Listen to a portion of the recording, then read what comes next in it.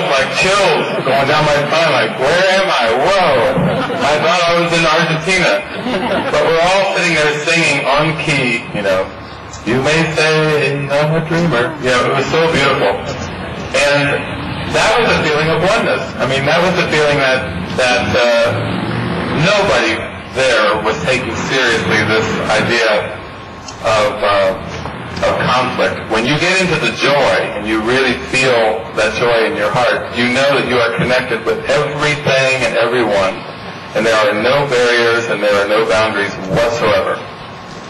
And I've gone into this really deep in my mind so that I get a lot of questions and about, you know, what about rape and murder? What about uh, Nazi Germany?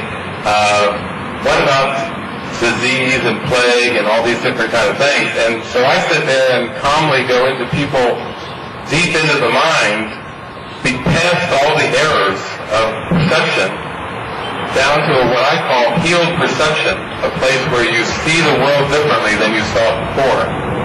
Where before you saw division and separation, suddenly you see oneness, you see the whole tapestry, and the whole tapestry is so beautiful. It's so beautiful.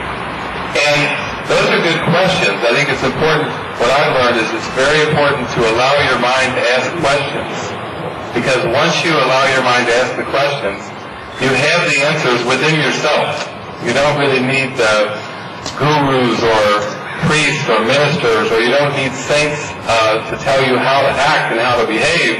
What you really need is just a transformation in your own heart and then all your behaviors just follow suit. You know, once you get your mind in line with your source, then, you know, it really is smooth sailing from there.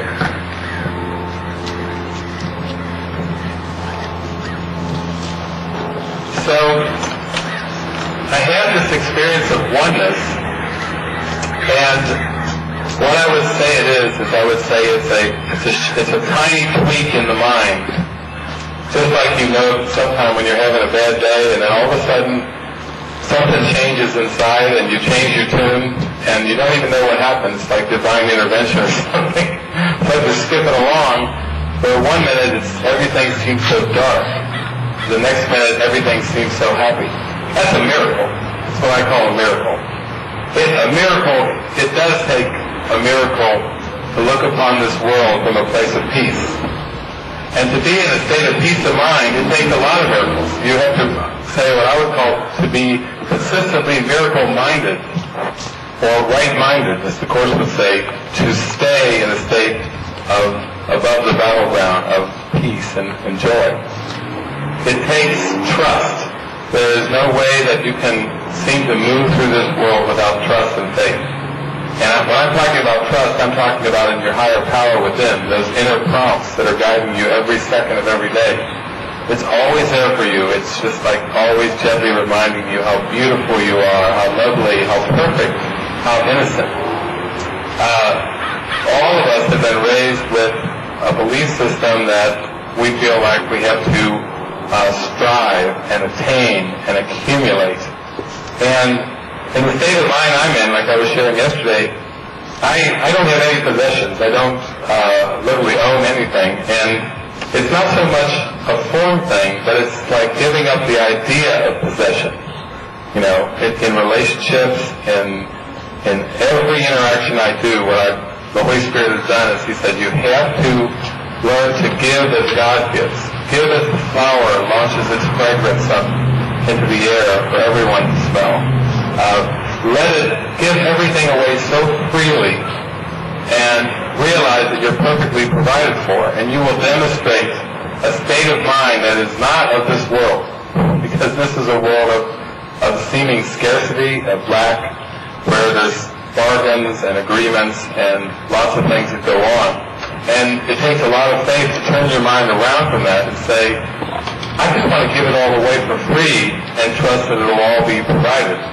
So that's really what Robin was sharing. That's what my last uh, 13 years have been. Is I've done hundreds and oh, probably thousands of, of gatherings and talks in restaurants, bookstores, backyards.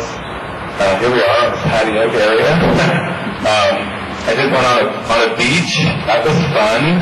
Uh, in an orchard. I think I was in an orchard called Elk, in Elk Grove here uh, near Sacramento. I, I was in an orchard and it was a hot day, about 100 degrees, everybody was under the trees, so I really, no microphone system. I had to let the voice kind of boom through. Um, but all these gatherings have really been for me. Uh, I seem to have talked to thousands of people in lots and lots of places, but it was all about my own uh, transformation of consciousness, my own willingness to learn not to judge anymore, you know, to just accept everybody exactly as they are in the present moment. And I, the thing I really want to focus on too is that oneness is synonymous with the present moment. The present moment is extremely simple. And if you ever notice when you're fully present how joyful and happy you feel, you're just happy for no worldly reason at all. You're clueless and you're happy. And that's what it means to be content in the present moment.